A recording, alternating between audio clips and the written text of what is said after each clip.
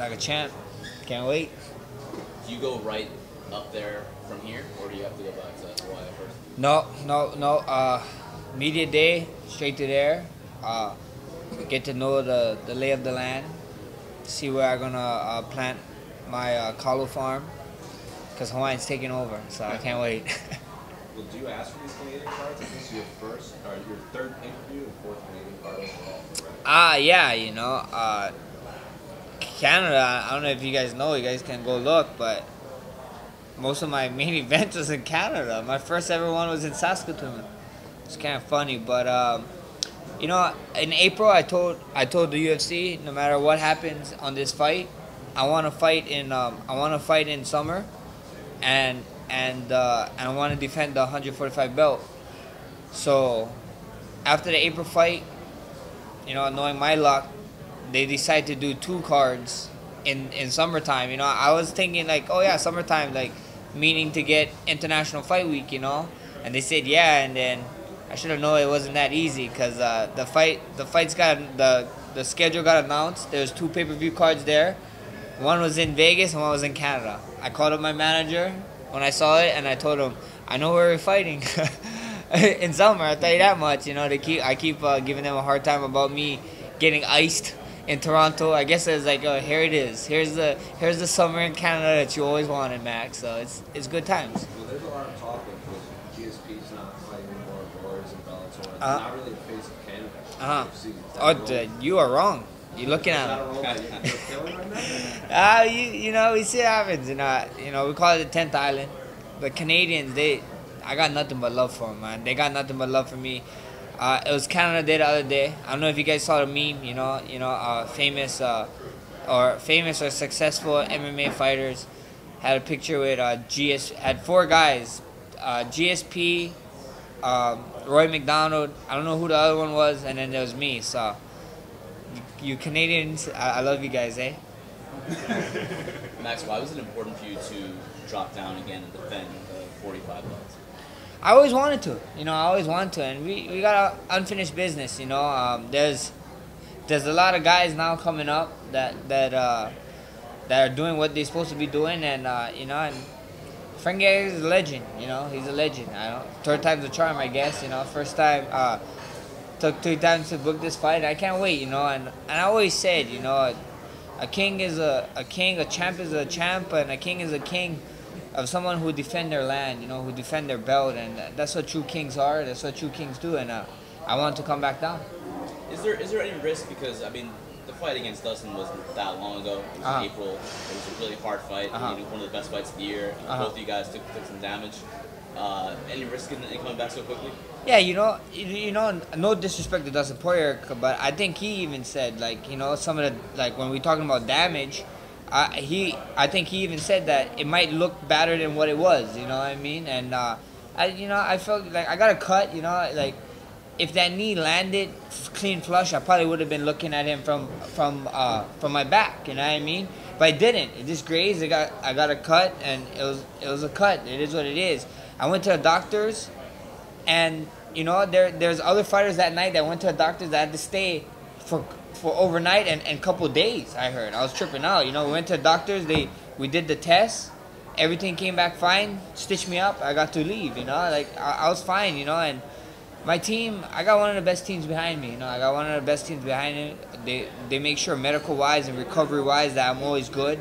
And we're not gonna do something. We're not gonna ever get forced into do something that we don't want. You know, and um, I got some of the best uh, medical team that, that actually goes back to Canada. You know, like uh, you know the Toronto Raptors, uh, their medical, their nutritionist lady that helps them and do all their medical stuff. She helps me. You know, and uh, it, it's super. It's super cool. You know, and. Um, the number one thing in in a career is recovery. I think you know recovery and rest for sure, and uh, this is not the case here. Know, I know how much you want to become a double champ, but they do say you learn more from a loss. Is there something you can at least take away from that fight that uh, you'll bring to this? Oh yeah, there's a lot. You know, there's a lot. I, I if you guys, it's it's in my history. You know, you guys watch my fights. You guys go back. You guys go back to all my fights. I'm a different guy every time. You know, and uh, and come July 27, you guys gonna see a different a different guy in there again. You know, uh, the kid that showed up in in April, the guy you looking at sitting in front of him kill that kid. You know, I'll body him. You know, it's it, there's no comparison, and um, it happens. You know, it's like I said in my Instagram post. You know, things this this sport or life period is like shoots and ladders. You know, sometimes you gotta slide down to climb up a bigger ladder, and uh, and like you said, you know, 50, 55 ain't ain't wear off. You know, it ain't fall off. It, that's only ten pounds. You know, it, that's all it is. It's ten pounds. You know, we we get back there when we get back there, and. Uh, hopefully it's sooner than later, and we see what happens. You know, if, if it takes a 10 fight win streak to fight for another belt up there and become a double champ, it takes a 10 fight fight streak. You know, that's what it is. I ain't, I ain't scared of no work, and you guys all know that. And uh, you know, I'm put my nose down and get to work, I guess. As you're getting older, I mean, how long do you think you can maintain, you know, cutting weight and getting down to uh. I will see what happens. You know, like I said, I, I got I got some of the best guys. You know, I got the nutrition part figured out, the training part and stuff. So we see what happens. How, how long more 45 we can go. You know, I'm not gonna say nothing. We don't know. We don't. I don't know the future. You know, if you know somebody who does, you know, let me know. And uh, you know, at the end of the day, it is what it is. You know, I can't. I can't wait. You know, I can't wait. You know, 45.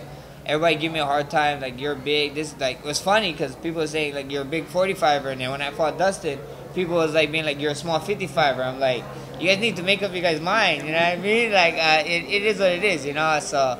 I, I, I, I really don't know what the future holds. You know, all I know is that uh, I got Frankie Edgar in front of me, and uh, you know, full steam ahead. Dustin fought at 45 before, Mm. but uh, it's been years. And he's Ah. kind of he's put on weight, he's put on muscle Yeah. since then. If you were to make that jump up against 55, would that be something that you'd want to have more time to do to kind of fill your body out more and, and kind of do like what you know what Dustin did and some other guys have done? Yeah, you know, it's funny. Like I, I, I hear people saying like short notice fights. Like, I took this short notice fights, this and that. Like if you look at it, like I, I probably had I had a lot of short notice fights, you know, and then uh, especially in uh, especially that 55 fight that came out of nowhere. I think so. How how, how many weeks we had? Yeah, yeah, seven weeks. You know what I mean? Right. And that's that was seven weeks to the fight day. So I only had I only could train like six weeks, and we still was coming off of the December thing, uh, uh, my December fight, and we was figuring stuff out. So uh, we see what happens. You know, I i- i- if it's when I make the move, I make the move, and I decide to put on more muscle and, and this and that. Like, you know, people keep there's always a narrative that people try to spew. Like, oh yeah, he had to, like how you said, he got to be there, he had to wait, this and that. It's like there's no difference. You know what I mean? Like, and after this fight, they call me up for August to fight DC. Guess what? I'm weighing around 210, 220 pounds. I make that walk and I'll fight him. You know what I mean? Like there's no, there's no time in this. If you want to be the greatest pound for pound fighter in the world, I don't think so. You should use weight as excuse, you know, or anything really as an excuse. You know, you just show up to fight. When you got the call for uh, for Dustin seven weeks out, how heavy were you? I, wa- I, I don't even know. I don't know. I wasn't I wasn't crazy heavy, but I wasn't. Uh, I we wasn't even training to be honest when we was doing the stuff. We just I was like me and my me and my manager, uh, me and my team actually was figuring out stuff about uh, about training wise, and, and we just was trying to figure out a bunch of stuff that was that was going on on the team, you know, and trying to help my health and stuff, and and move forward in that way. And then uh, we got the call, and you know, opportunities like that you don't miss. You know, you, you show up. And uh, this fight it's back at 45. Is it any tougher now after doing that 55 cut to come back down all the way to 45? Uh no, you know, I, I, I mean I my, my meal my, my plates maybe looked a little bit like like this, you know, maybe and a little bit smaller now, but that's it, you know. It comes with the grind, you know, it's, it's just another it's another fight, another fight at forty five. So in that fight, did you feel like in 145 that you stopped cutting weight, I felt like the man. I'll tell you straight up. I start, I'll tell you straight up. You know, everybody, everybody be like, they keep trying to use the weight thing as an issue. I don't give a, I don't care. I don't care what the weight was. You know, like I felt like the man. I felt like I felt every, every fight. The training camp, I felt great. Everything went great. You know, it's just I didn't get my hand raised. You know how people was used to seeing it over the last five years. You know, and uh, and it happens. You know, it happens. You know, some sometimes you gotta run into these roadblocks to uh, to refocus and and and re-go and rethink stuff. And you know, things happen for a reason. Obviously, that loss was something you had to deal with, but how did Mini Blessed take it? Uh, He was fine, you know. He was fine. Actually, you know that through an agony, everybody saw it. You know, like uh, uh, Dustin got to console him. Uh, uh, Shaq consoled him when he was crying, and I got to talk to him after. And I and I told him, you know, like, what were you crying for? Like, were you crying because Daddy was like bleeding or you know getting punched? And he said no. I was like, what? Was like, why are you crying? He's like, crying because you lost. I'm like, what? I like this, you know, you know, like the uh, people was giving me a hard time about a kid shouldn't be there front. Like it's all his kid no. Like he been in the gym. He's been in the gym with me when we didn't have babysitters. Like he, he this this is what he grew up watching. You know what I mean? Like he's a warrior, samurai. You know, in the ancient days, whatever it is, Spartan. That's what he is. You know, and and and he saw this. And then the thing that that kind of was funny that I knew why he was crying because I lost. That's it. You know, like the kid's a competitor. You know what I mean? Like we're, we're at home playing. He's playing. He's at home playing at WWE with my friends uh, Josh and, and Bird, and like he's like a competitor to the point where like he cries when he loses. Like he's like they're like they're they're mobbing him. They're like stop, stop mobbing me. And then when and then when like start full on tearing, and then somehow he wins the the the death match, and then they're like. And he's like, "Yeah, I told you guys I was the man." So the kid is just a competitor, you know. It's just in all of us. He's got a hell of a role model. Yeah. Is he gonna fight? Is, is he gonna? No. So I had this talk. If you guys ask him if he's gonna fight, I already know what his answer is gonna be. I told him that he needs to be a doctor. Someone needs to take care of daddy when he when he's done, and uh, why not invest in your own? You know. So I told him you need to be a doctor. So if you guys asked him and come up to him, he'd say. I'm gonna be a doctor, but he probably would say he wants to fight. So you know, he, I got him doing jiu-jitsu. He does a little boxing here and there, but we see what happens. You know, the kid, uh, the he can do whatever he likes. I'm not gonna stop him. I'm not gonna stop him. If he wants to fight, if he wants that life, uh, then he wants it, you know. But I'm fighting so he don't have to do that life, and uh, you know, hopefully, Doctor sounds real, real nice right now. So hopefully he do that. You talk about you know providing for him so he doesn't have to have that life. I know you do a lot for your community. Can you talk about some of the outreach and you know how you've been giving back?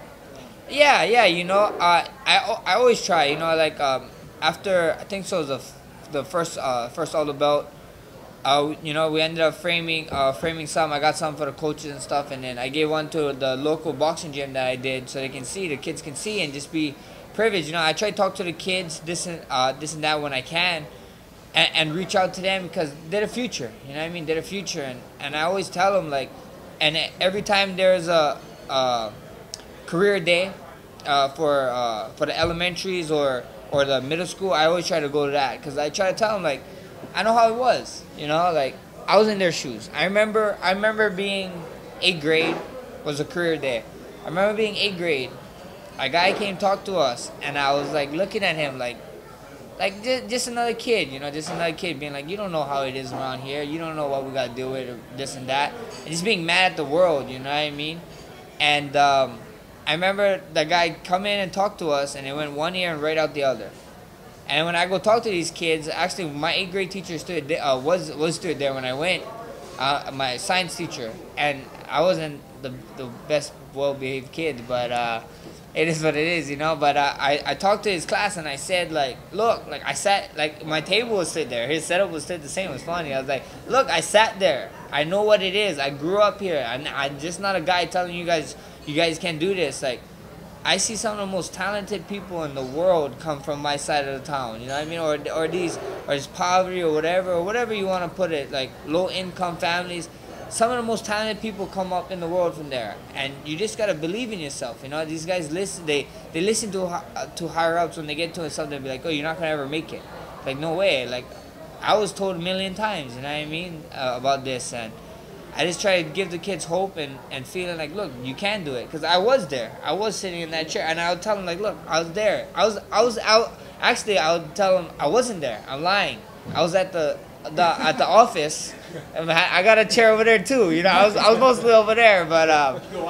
yeah, but, uh, but uh, yeah, you know, I just want, want to let them know, like, you guys can do it. And you guys got to get out of your bubble, you know? Like, it's, it's so crazy. Like, I saw, I saw guys that that uh, I thought was supposed to go to league, the NFL, the MLB, uh, or whatever they want to do. Do I saw I saw them go and then they come back because they just miss home or or they had girlfriend problems or something else came up or they just couldn't do it. I was like, bro, no way. You know what I mean? No way. Like, look, guys, like you guys gotta think. You guys think thinking short term. Like you guys miss your guys' family, this and that. But when you guys make it, you move your family wherever you at. You know what I mean? And, and so I, I just give them hope, you know. I, hopefully, I can give them hope. You know, I always said, when this all said and done, you know, I of course I'm gonna be remembered one of the greats, but uh, at the end of at the end of the day, if I could change one person's life, you know, that and that, that's what it's about. You know, changing people's lives. You know, they, you want to leave the leave this world be, a better place than when you got into it. You know, so that with me heavy. You know, so so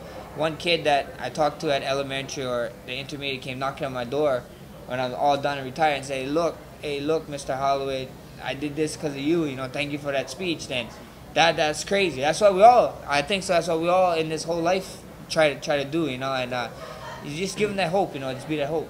Are you still bugging them about a UFC Hawaii? Because I mean, they're going to UFC Uruguay and all these Yeah. spots. Yeah, we see what happens. You know, I heard UFC. Uh, I, I, I, I hope so. UFC Hawaii happens soon. You know, the stadium. I think so. They're gonna do some. Um, they're gonna put a new stadium in. Like uh, they're gonna start fixing the stadium. Uh, not fixing. They're gonna knock it down and make a whole new stadium. So before they knock it down, I want to be in UFC Hawaii. You know, we see what happens. We got uh, the contender series just signed two two Hawaii guys.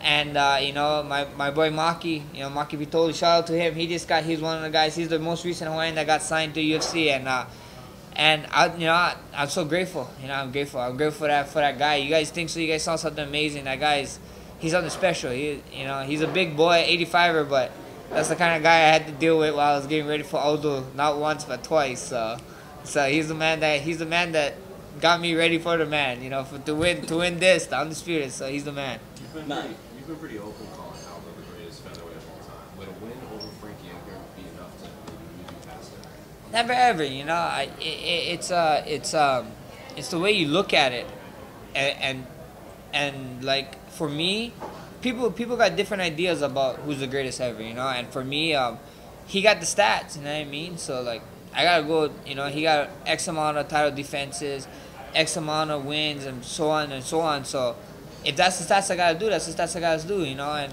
you know, right now. I ain't even worried about that. I ain't even thinking about it. You know, we got we, we got a lot of work to do, a lot of things ahead, and um, that that's the main focus. You know. Division's kind of, it's, it's, it, it, it didn't go away, but got like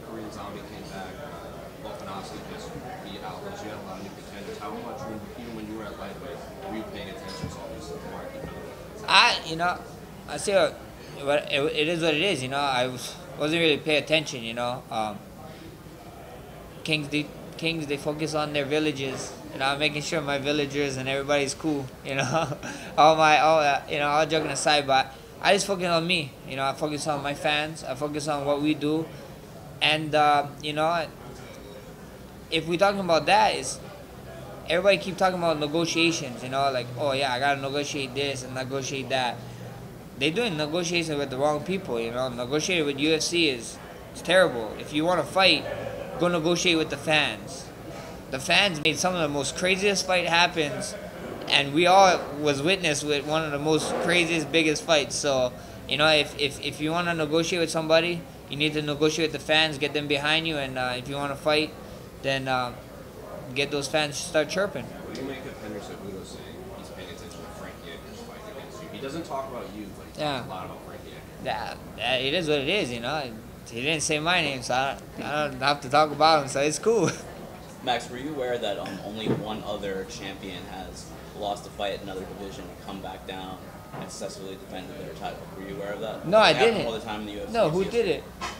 Someone uh, who comes from the same state as you, BJ Penn. For real? Lost the GSP, Oh, that's came back and dope. defended the lightweight title. And that, well, well, you got we got a bunch of history going on with that, then you know. And then BJ got got a little bit of history with Frankie, so it's gonna be fun one then.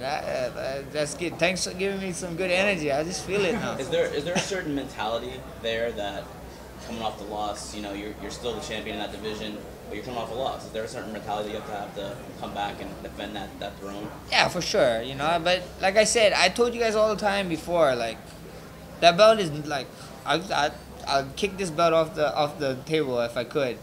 It, it ain't nothing, you know. Like uh, I was a champion way before I was sitting in front of you guys. I was a champion, you know, way before when I first got in the UFC. I knew I was gonna be a champion, you know, and that's the way I conduct myself, and that's the way I talk, and that's the way I fight, you know. Like this belt is only to let people know, like, look, I'm the undisputed guy. But I've been trying to tell people I'm the undisputed for a while now, and uh, and that's just it's just a mindset, you know what I mean? It's a mindset. It's it's whatever you do, you know. I'm sure you got all you guys gotta be like, I'm the best MMA uh, MMA reporter. I'm the best videographer. I'm the best. You know that, but that's the energy you need to wake up. That gets you up in the morning and get you ready and prepared for your job. Do you compartmentalize uh, the two divisions at all, like the Dustin fight? Do you say like, okay, that was a different division. It's not something that I maybe did that was wrong in that fight, but Yeah. just the circumstance, not what I did wrong. Do Yeah. you compartmentalize that at all? Not re- not really. You know, I just a fight is a fight, man. Fight is a fight. You know, Uh, that's the way I look. I look at every single fight. I, I look at every single fight different, but I just I don't look at weight or this and that. Like I look at fight like like uh, I you know I, I sound like a broken record, but like I look like a fight like how to how to beat DC. If I got the call in August, I'll look into it. You know, I'll figure out a way. You know, that's we're fights. You know, like back in the olden days, these guys didn't walk around with scales and be like, hey, wait, put the scale on. They stepped on and be like, yeah, I cannot fight you. You're you're half pound over me. You got me. No, you know these guys just fought. They showed up to fight, and that, that's what true warriors do. You know, and uh, and we, people like to call us modern day gladiators, whatever. You know, live like it. You, you already had to prepare, prepare for Frankie. You ended up fighting Ortega. What was it like having to you know train for him again? Did you do anything differently? Was it hard to get motivated? No, it's not hard hard to get motivated at all. It's just weird, you know, like, cause like uh, I was supposed to fight him, and then it didn't happen. Supposed to fight him again, and it didn't happen. So it's just it, this is the first time in my career that I ever had to do that with somebody. Period. So it it's not crazy hard, but you know he gets better. You know what I mean? So all the film that you watched on him and this and that, and you game plan for this one thing, and then he was only to have one fight. You know, he only had one fight in between the fights we fought, and he, and he saw my two fights. So he get to watch kind of different films and. And, and, and- strategize and whatever, but yeah, it's just it's just different. It's just different, but the motivation never ever crushed the motivation. The boy, the boy's always motivated, uh, and uh, and Frankie's Frankie, man. If you don't give this guy the respect he deserved, he did something that was unthinkable, unheard of in a division higher than us when he was a much smaller dude. So I can't wait. You know, th- th- th- these are the fights that excite me. You know, he, the man's a legend. The man's a legend. Uh, if he's not a Hall of Famer, uh, he, he's a future Hall of Famer. If not, he's definitely a Hall of Famer in my eyes, at least. And uh, you know, not to buy respect for. Most important question of, of the month. What's up with this bottle cap challenge? What is what is going on here? How did this start? my man, my man, my man Earlson, you know, from from acronym. He he uh he the one he actually did it and then he tagged me and he he told me to do it and then and then uh, I came up with an idea like he always talked about how John Mayer was like John Mayer was surprising a lot of things. And damn, did John Mayer surprise me in his, in his kicking ability? I was tripping out, you know, and uh, and it just it just went crazy, you know. You see the Kendall Kardashian Bieber doing it. It, you just see rounds, you see you see cars doing it. I'm like, I just saw SpongeBob do it. I was like, what? I was like, how does SpongeBob do it? You know, the new game, that new game Borderlands did it. I'm like, what is going on? You know, it took the world by storm. So it, it was cool to see. You know, it's cool. It, it was a way to, uh, uh, it, it was more more of a way of not making people watch the sport. People use martial arts, you know, and, and the way of like so much people told me oh that I wouldn't do it uh, this and that like I can't do it. It looks hard. Like try it. You don't know until you try. You know you really don't know. And then and then of course you got people like oh I'm holding the bottle. I'm not holding the bottle. This and that. I'm like guys, come on, we're getting too crazy now. I feel like it didn't blow up until you did it, right? It didn't really blow up big until you did it. And I mean, I, I mean, I think, I think, I think, you know, uh, Earlson is the man for tagging me. John Mayer is the man for doing it, and then Jason Statham. Oh my gosh, when he did it, that's crazy, you know. And then, and then I think so. The icing on the cake of mine is that everybody just talk about how it just keeps spinning, and it just stays on. You know, everybody's wants to kick and flies off, so it's it's pretty cool. What do you think of McGregor's? McGregor's. Yeah, what do you think of McGregor's? Yeah, if you talk about it, you know, when I when I kicked it, you know, like Conor Conor's one when he kicked it, his bottle went flying, his bottle cap went straight flying off, you know. When I kicked mine, mine just kept spinning and spinning and spinning, boop, and stayed on. You know what I mean? So it's preferences, you know. Some people win championship belts, some people defend them. So whatever preference you want. Does anyone recognize you from the bottle cap challenge rather than being? in But this I'm actually, I'm like, yeah, it's kind of funny. They know I'm a UFC champion because once they go, but but but people like people now is like yeah bottom cup challenge instead of like not not even talking about me like hey you're hey you're the bottom champion challenge guy. I'm like yeah dope thank you boss uh, it's cool. So yeah some people did. In LA actually before we came here like two people was like yeah bottle cup challenge that's sick Max Holloway freaking champ I'm like yeah that's funny that's that's cool Have you had your manager try to parlay that into a sponsorship? Or the, uh, Oh, we see what happened. We we be we be working on some stuff. We got some stuff announcing soon, so hopefully. I was also curious, how do you think Dustin's going to do against Khabib? You know, as a fan, you know, as, as a fighter, I, I hate picking sides on fights. You know I mean? Like we run into all each other and this and that. So I, I hate picking fights and, and whatever and who's gonna win this and that. But as a fan, I'm excited to watch. You know, I'm excited to watch. You know, um, um, the if you look at uh, Dustin's last fight, the the things that he could do to former champs and stuff, impressive. You know, impressive stuff. And then you look at Kh- Khabib, you know, im- impressive. You know, impressive stuff. So I just can't wait. You know, I can't wait. I, I think it's gonna be a good fight, a hard nosed fight. We see who show up that night, and um, you know, it's gonna be a fun one. You know, like I, I, a lot, a lot of times, like I like to tell people, like, look, nobody gave Al Iaquinta a shot, nobody at all. And Al Iaquinta was one of the most like actually I think so Al Iaquinta like run around or something. Yeah, they said or something like that. So we never. It's, it's, MMA is a weird sport. That's why you gotta love it.